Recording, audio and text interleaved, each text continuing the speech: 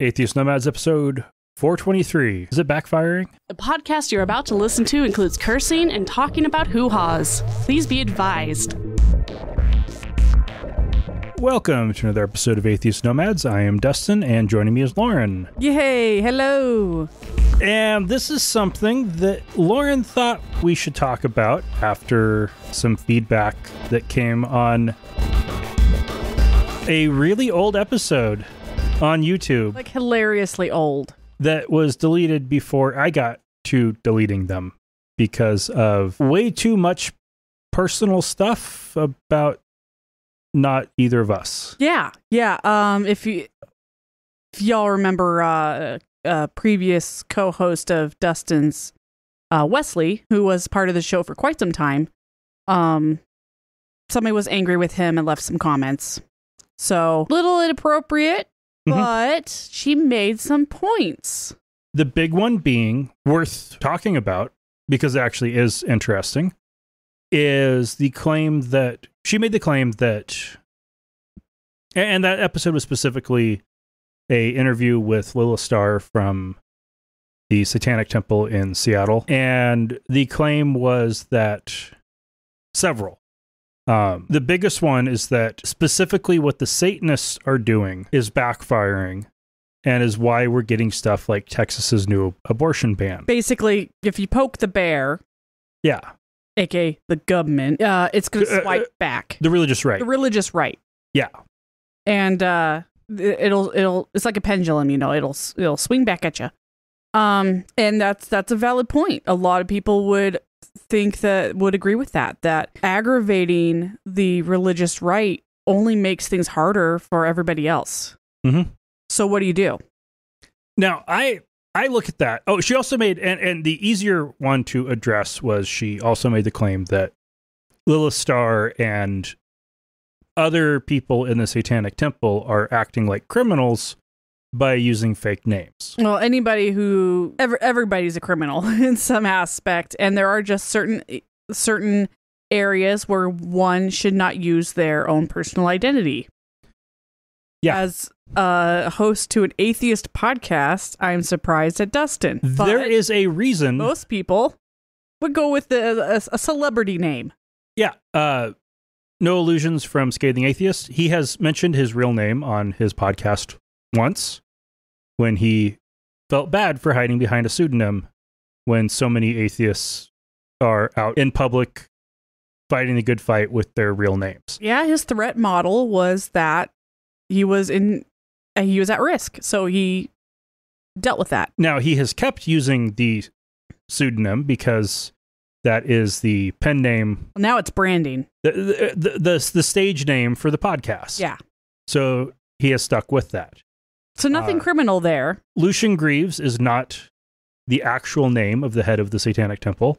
That is the name he uses publicly for good reason. yeah can you imagine the death threats that a satanist Yeah. or even just an atheist gets Now, when I started blogging, I made a point of only using my first name. And it was my first guest appearance on Chariots of Iron way back in 2010. They put my last name in the show notes. I never intentionally gave them my last name. I never intentionally said to use my last name. I was trying to keep my last name out of it.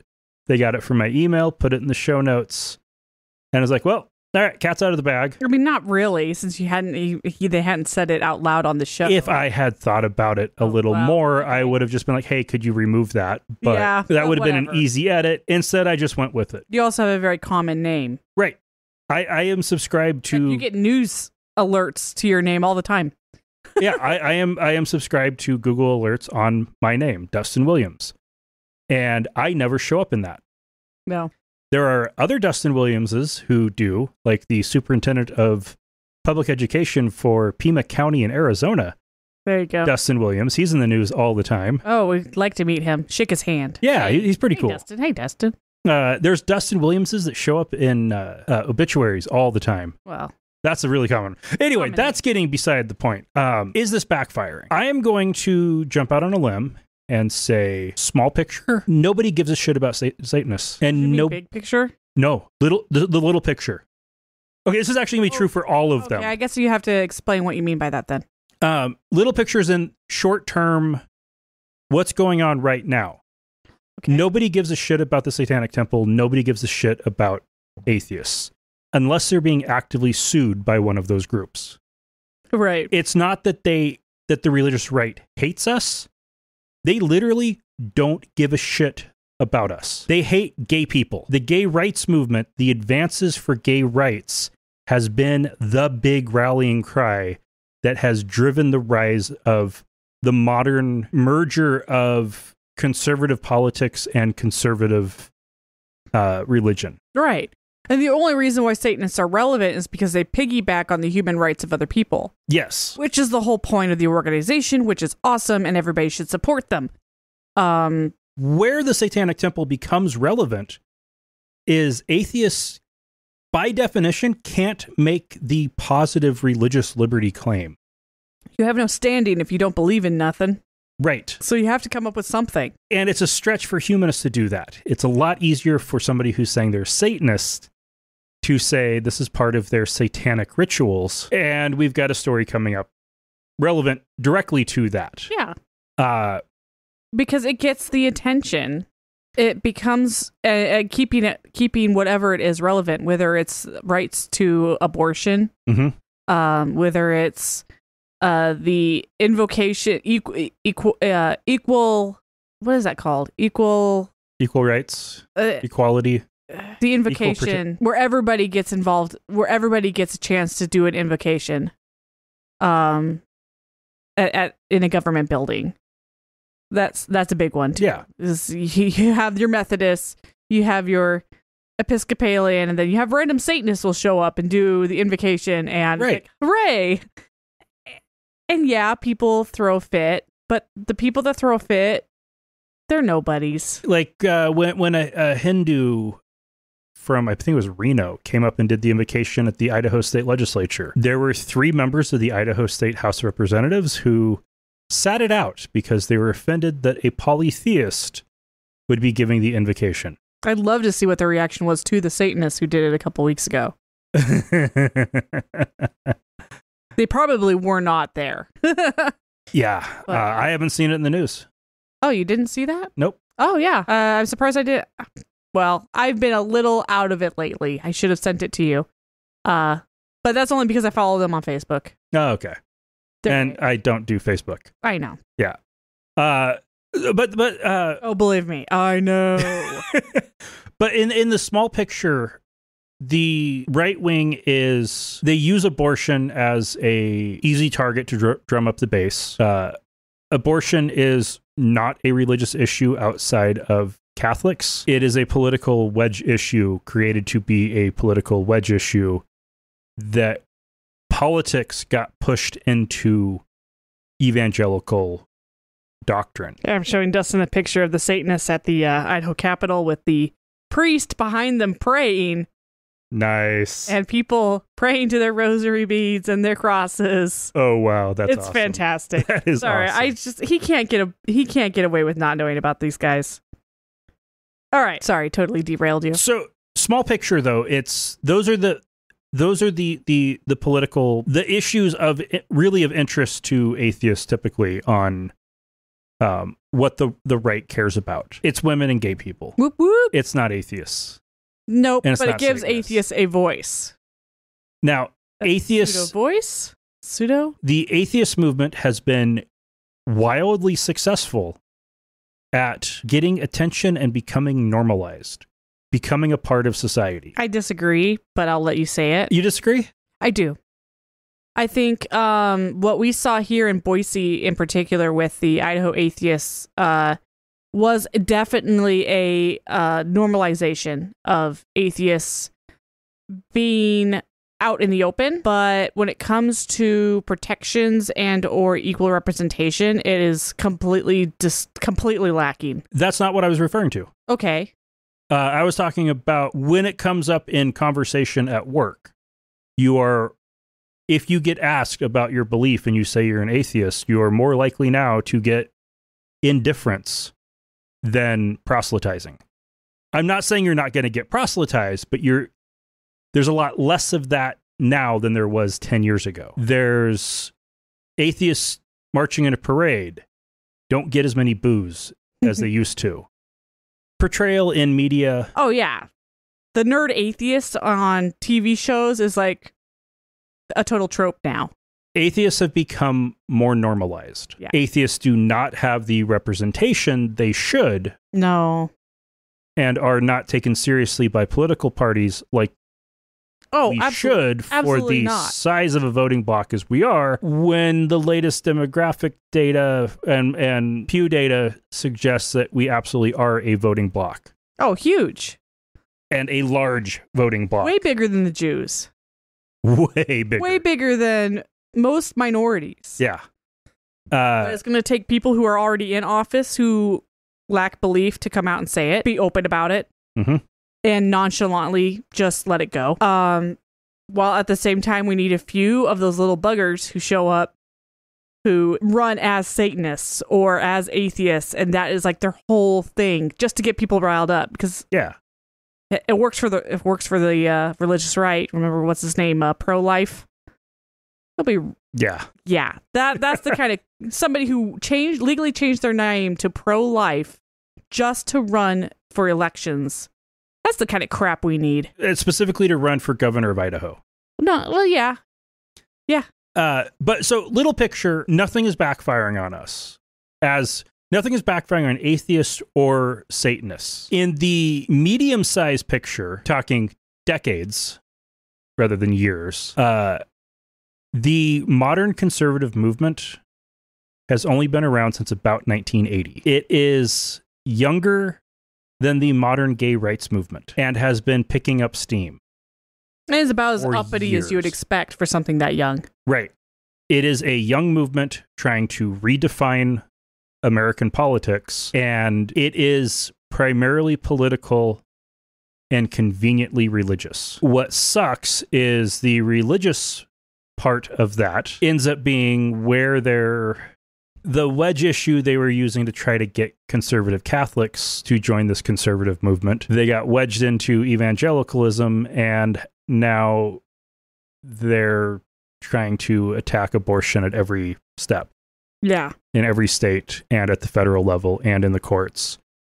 Uh, we will soon be seeing probably not direct actually no we probably will soon be seeing direct attacks on same-sex marriage and attempts to overturn that as well as enshrining christian privilege to discriminate against gay people. Uh, that is actively happen actively developing. And but it is a it's primarily a political movement where a lot of the most obvious things to what we look at are the religiously motivated hate. right. Because it's usually centered around some kind of human rights, Yeah. Just kind of our, you know, kind of our thing. When you look at the really big picture, this isn't just an American thing. It's happening in Brazil, it's happening in the Philippines, Greece, Italy. And there aren't Satanists in those countries that are Ne- uh, not that act the same as the Yeah. American ones. yeah. So you can't say that they're caught making things worse in the big picture because this stuff is happening all over the world. It's a global trend, not. We just happen to have one of the most famous examples as a head of state. Right. And if if if it hadn't been Trump, Bolsonaro or Duterte would have been the most famous. right. It would have ever. Those guys are bad, bad jujus. and this this modern you know and, and what's one thing that is fascinating is in a lot of these countries the the not us countries the far right wing neo-fascist political movement is inherently and explicitly non-religious and in some cases actively hostile to religion in the us it just happened to go the opposite and merged with a religious group They both benefit Christian privilege, but in different ways. uh, really big picture, yeah, the religion isn't the big the big angle. It's new autocratic regimes. Human rights are not good for dictatorships. So trying to suppress and do a, do away with human rights protections and gay people are the easy target they're all using. Putin is going after them. Gay Hungary people and foreigners and women. Women are a little touchy though because women's is almost the the fight for women's equal rights has been such a long one hmm that I think people are kind of embarrassed to be sexist nowadays. Yeah. Misogynism is kind of a bad label, but they still turn around and keep doing it this over and over again anyway. Um, but that's what you get when you have been suffering from e- for, e- uh, from inequality for so long that you and you keep getting put on the back burner. Right. Not to say that, you know, foreigners and gays also deserve equal rights. They all do, but yeah, it's complicated. Yeah. And in the really big picture, it's it's immigration and refugees and the instability in the Middle East and climate instability and Yeah. A lot of people want equal rights for everybody in their own country, uh-huh. but they don't want to extend that to foreigners. Yeah. So that's an easy other group to attack. And then, of course, there's the people within your own society who you think are somehow denigrating your society. And you got to attack those somehow. All right, then. So the really big picture, atheists and Satanists aren't even a blip on the radar. That doesn't mean that what we do doesn't matter. Exactly. Because if you don't keep fighting for even just some basic common sense, Uh-huh. r- rule and law, then you'll keep back, they'll just keep backsliding and you'll lose in the long run. Absolutely. So, is it backfiring? No. Are a lot of things bad? Yes. Never give up. And we need to keep up the fight. Yeah. We're going to cover the main feedback later in the episode, but if you want to contact us, we have a nice handy contact form on the website. All right. There's also a speak pipe button, Ooh, you, You can, can leave a record voicemail, your own vo- basically. your own message. Nice. It's also really easy to uh, use the, the voice memo app on your iPhone or similar recorder on an Android device and email it to feedback at atheistnomads.com or just type it out. It all works great. We love getting feedback. Even if you do name names and ha- go off on an old co-host, In response to a very old episode. we'll still get to it. yeah. Uh, we also have a upcoming launch. What? Yes, we are finally getting merchandise. Oh my god. Oh my god. I need a t-shirt cannon. In order to launch. you need a cannon. Oh, So yeah, yeah. Poof, poof. I saved Dustin from a t-shirt cannon once. It's one of my greatest stories. And one of my most embarrassing. Batted Uh, it right out from in front of his face. It was great. We are finally, after I've been wanting to have shirts for years and years and years, uh, we finally have a store launching next week uh, with shirts and stickers and mugs and magnets. It's one of those deals. Everything. You just stick the picture on anything and everything you can imagine, Yep. And they'll print it. and they'll if you order it. you. It's great. Yeah. So we'll have all the details at launch next week. Um, but this is just a little teaser. All right. For our first news story, we've got one of the main leaders in the Miracle Mineral Solution cult. What? Miracle Mineral Solutions? Is this literally water? No, it's bleach. Oh my. Oh, fuck that guy. All right. Yeah, this is we, we've talked about this quite. This is the various stories have come up many times. It started out as a um, quote unquote sacrament to cure autism, I remember that now. Yep. and they claimed that these kids were shitting out the demons. When no, that was their intestinal lining because they drank were forced to drink bleach. Uh, with the pandemic, of course, they've been touting Miracle Mineral Solution as a COVID preventative and treatment, which got them shut down in the U.S., but not elsewhere in the world. That's just just insane. That's just oh god. Yeah. The one of the main leaders is a German by the name of Andreas Kalcker, uh, who is probably in Switzerland right now, uh, hiding. more or less. Uh, in a recent trip he made, uh, he went to Argentina and was helping encourage having kids drink bleach. This is it's just insane. Mentally unwell. Absolutely insane. Uh, in August of last year, uh, because of course legal cases take forever, especially when they involve a foreign national. Um, this trip was, yeah, last year, and a five-year-old boy in Western Argentina uh, died of multiple organ failure after being forced to drink miracle mineral solution or industrial strength bleach. The parents believed, per what they were being told by Kalcker and others, that this would ward off COVID 19. So the authorities launched a seven month long investigation and have formally filed charges against Kalcker. There's a part of me who feels like if you fall for the snake oil salesman, then you just you're, you're just bringing it on yourself. But when people honestly believe this stuff, like Mhm. really do, there's no skepticism whatsoever. They actually believe this stuff and do it to their kids, little kids, Yeah. highly aged kids, and make them go through that kind of s- terrible pain and torture Yeah. for That's why we have laws is we have laws to protect idiots. because Half of the laws out there are to protect idiots. idiots and un- uneducated uh from you know these yeah. criminally negligent even if he is a believer of his own stuff i bet he's not drinking bleach He has been charged with the illegal practice of medicine and selling fake medicines yep because he's not a doctor no and bleach is not a medicine. no no matter what trump said it is not a medicine No. it does not go inside the body No. If he ever steps foot in Argentina again, he will be looking at spending 25 years in prison. too bad they can't extradite Not from Switzerland. nope he's he's not dumb Nope. And I'm sure the FDA is like the FDA investigation into his Florida church.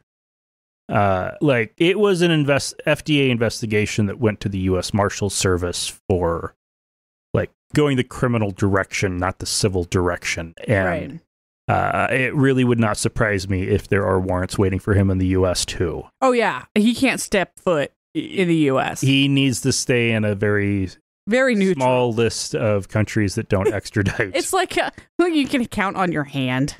The ones that Nazis hid out in. Oh wait, no, That was Argentina. no, he got busted there. That was Argentina. Don't burn bridges, dude. Don't burn your bridges. Uh, Dave Daubenmire is a right wing religious radical activist, pastor, evangelist, prophet, coach, asshole. Um, coach Dave is what he at various points has gone by. God, Uh, he has a persona. yeah. Uh, in his his latest round of craziness, uh, on his Pass the Salt Live program, uh, he presented his hundred million dollar plan. He's going to wage culture war with a lot of money to uh, fight anti-Christian, but what he views as anti-Christian bias and promote uh, Christian conservative uh, candidates for public office.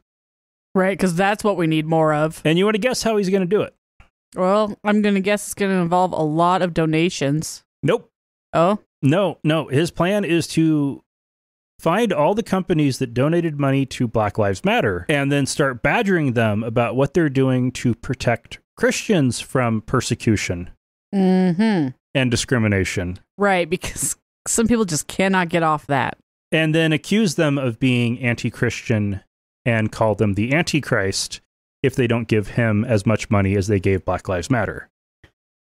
Pooh boy. All right, how's that going for him?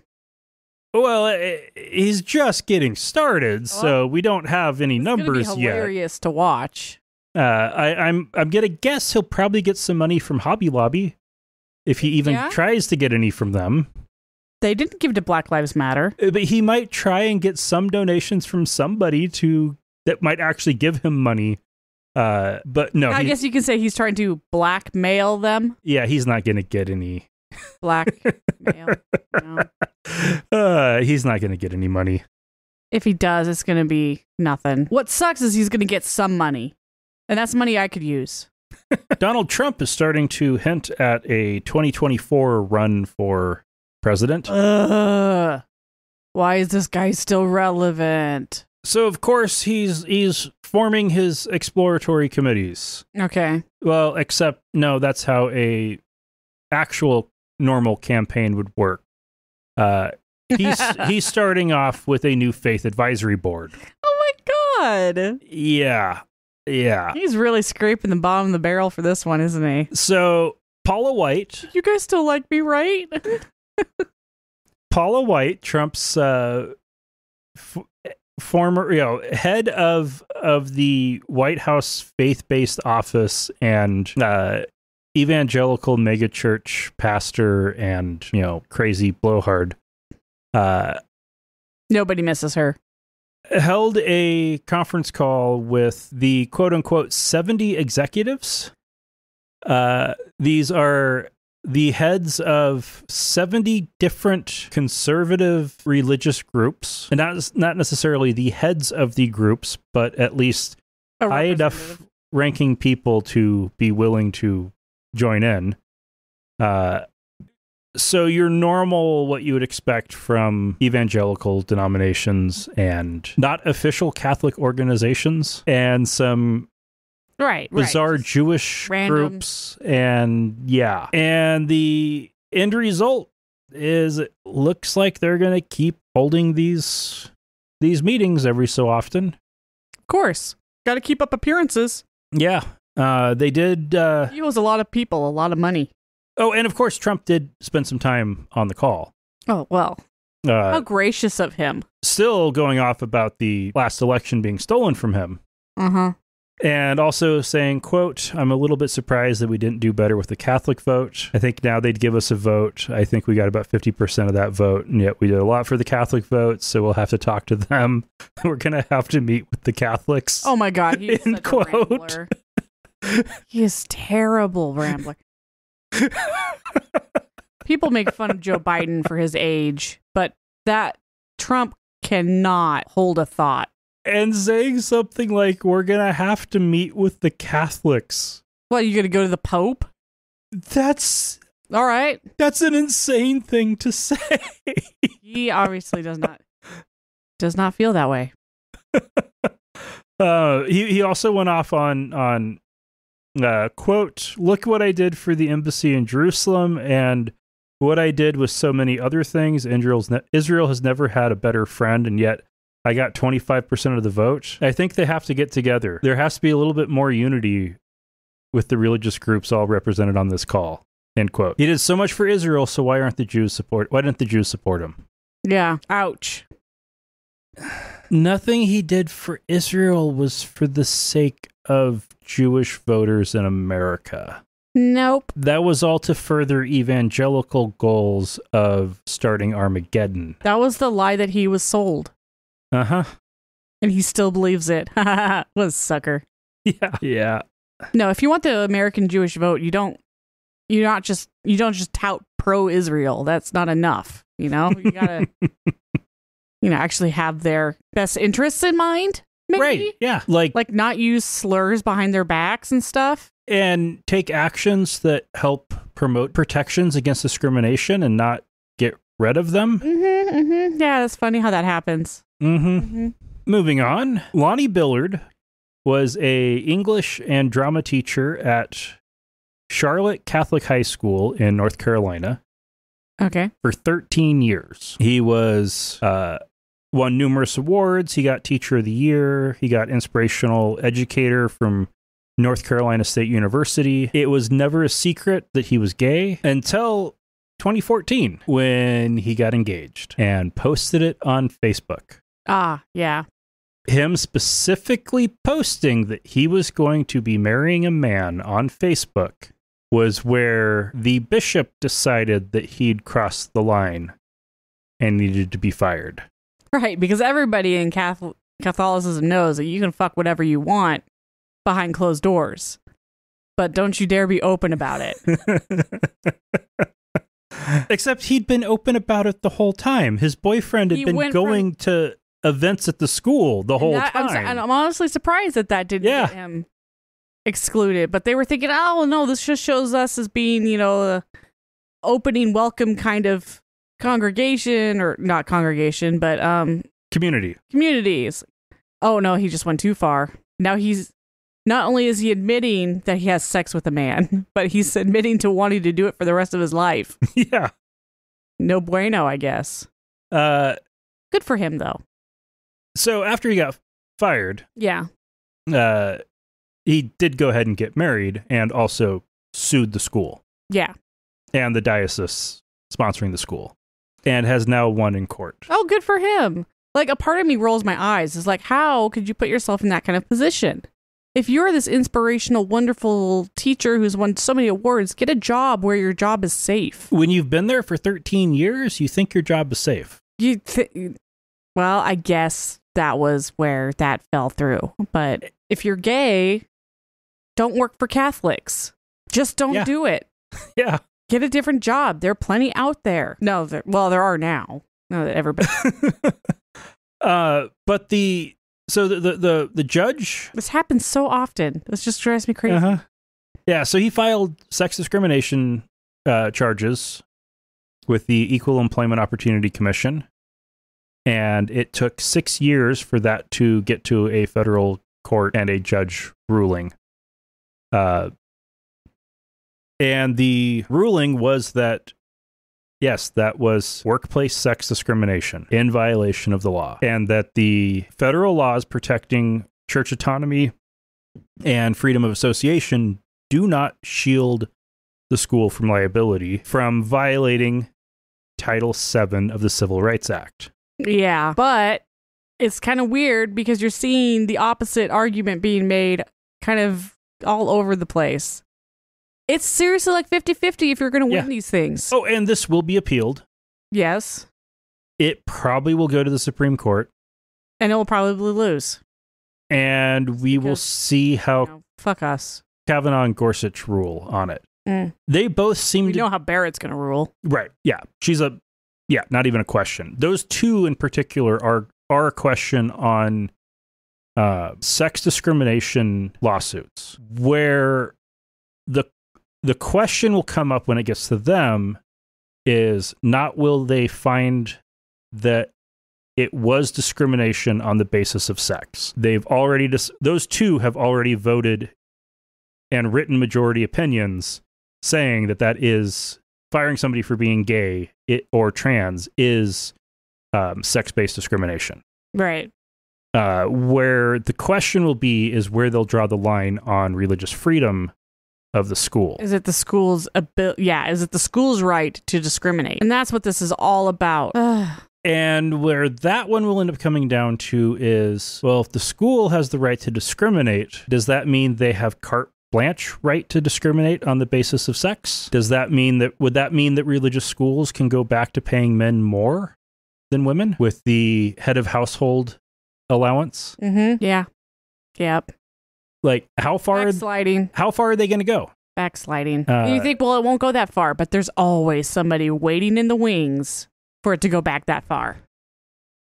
right now churches can pay however the hell they want there are no discrimination protections for churches where the question is religious schools do they have to do they fall under being an employer or a ministry and then the next step will be religious hospitals And what happens when all your hospitals within a certain area are religious uh-huh and you don't have a choice but to work for that hospital if you want to work in medical or in a school or in a yeah whatever. It's this is why the that wall that separation is so important. mm-hmm. Yeah. All right, now we're going to talk about Texas. Texas's abortion law has gone into effect. Um, this one was allowed to go into effect by the Supreme Court on the grounds that it's different enough than the other bans that it's an open question, which is completely absurd because the way that it's different is anybody can sue anyone who helped a woman get an abortion past the six week of gestation mark. Whether they were aware of it or not. Yes. And including can sue the woman who got the abortion. Oh yeah, well obviously. Uh, That's this, the main target. this presents presents the possibility where a rapist could sue the woman he raped for ten thousand dollars because she got an abortion as soon as she found out she was pregnant. Or the Uber driver that took her to the clinic to get it done. Uh-huh. Or Anybody who donated to Planned Parenthood of Texas. Or any other, you know, known abortion clinic. Uh it's ridiculous. And anytime you have a law that has now it's not an official state telephone number that you can call to turn people in. The state does not have one of those. This is all pr- privately run and they're Mhm. currently getting hit with so much spam. They're going to have to all shut down anyway. But the idea of having your neighbor turn in somebody for su- suspected criminal activity has never ended well. Right. Never. This isn't expected to end well. Nobody wants it to end well. No, they want it to end. they want this to just.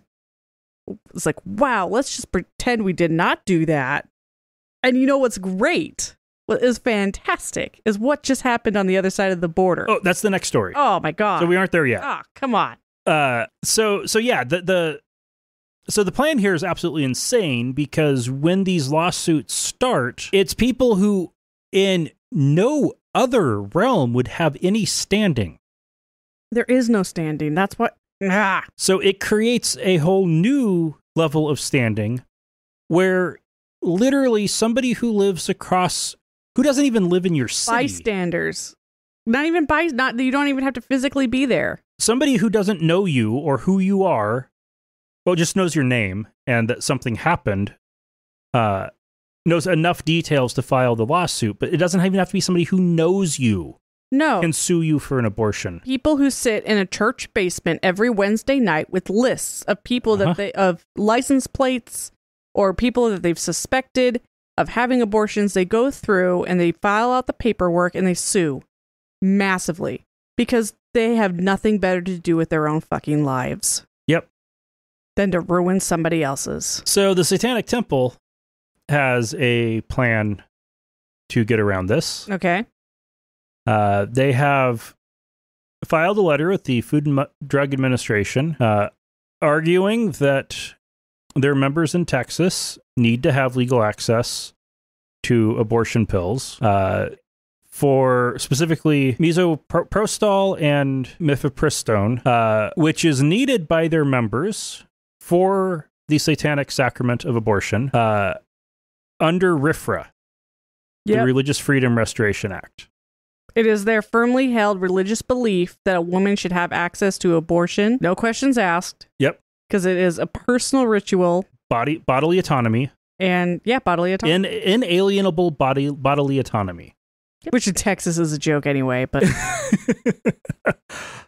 it will be fascinating to see where this goes. Now, I'm sure the FDA is not going to have like their response is probably going to be, "Why are you asking us about this?" they're just like, keep us out of this, keep us out of this, keep us out of this. The FDA doesn't weigh in on. God, I can almost feel the headache, like the empathy headache I have with whoever got that letter.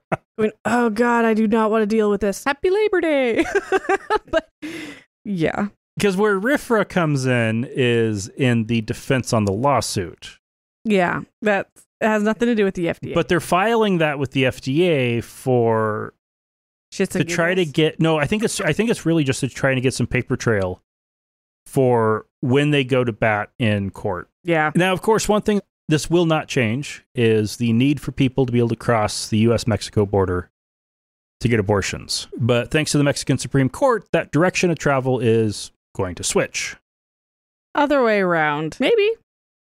women in southern texas to get access to a safe abortion will need to go to mexico Yes. where Mexico's Supreme Court has unanimously ruled that criminal penalties for abortion is unconstitutional and has directed the uh, state legislature in Coahuila, uh, which borders Texas, to uh, fix their laws. Oh, because they probably had some pretty severe. Three years in prison and a fine for getting an abortion. Yikes. Now, this isn't a, you know, sweeping abortion is legal all over the place, but you can't make it criminal, which basically is like a green light. This is going to, this is Mexico, the Mexican Supreme Court doesn't work the way the U.S. Supreme Court works.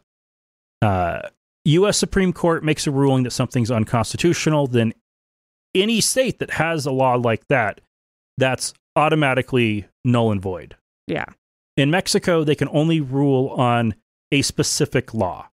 They can't do big sweeping rulings, Right. but they can create precedent, and then other states will get sued in lower courts, and the lower courts will cite that precedent, and one by one, each and every state, every state's laws will be thrown out. Now, that happened with same sex marriage in Mexico, and that happened with marijuana Yeah.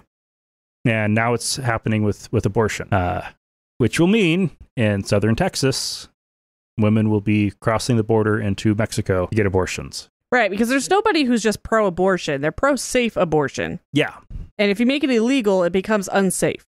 Yep. Uh, Texas, the land of coat hangers, shall be. I mean, the memes have already started. It's, it's Mhm. insane. hmm Um, the backlash that they're getting is terrible and terrific. oh yeah. And we have feedback that wasn't deleted All right. uh, via email from Janice. This was in response to episode 422. She wrote, "Great episode. Aw. Thank you, Janice. Wait, was I on that one? Half of it. Yeah. All right. Half of that was me. Actually, after editing, more like two thirds. Okay. I love how that works. Yeah. I love Uh, that math. So thank you, Janice. Thank no, no, no. The reason why it was after editing, it was more like you were on two thirds, was because I have a lot more pauses when I'm solo, and You- once you- those are gone, It uh, it cuts it way down. yeah. I get that. That's okay. yeah, Truncation. yep.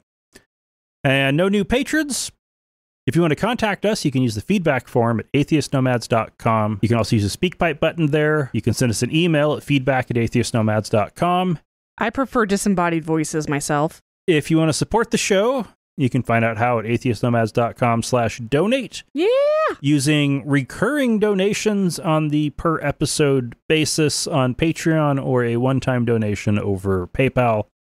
Uh, and soon you will be able to buy shirts and Or stickers. whatever. Or whatever. Stickers for the little ones. Or your laptop or a mug. Or cooler. Just we should just have it with Rocco's face on it.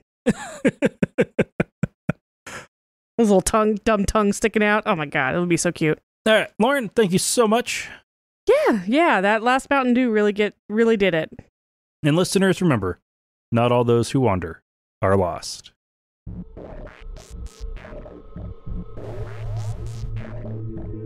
Thank you for listening to another episode of Atheist Nomads. You can find show notes and contact information at atheistnomads.com. Follow us on Twitter at Atheist Nomads and like us on Facebook at facebook.com slash atheist nomads. Please subscribe to the show in iTunes, Stitcher, or your podcatcher of choice, and while you're there, feel free to leave us a review. Theme music is courtesy of Sturdy Fred. Until next time, this has been the Atheist Nomads.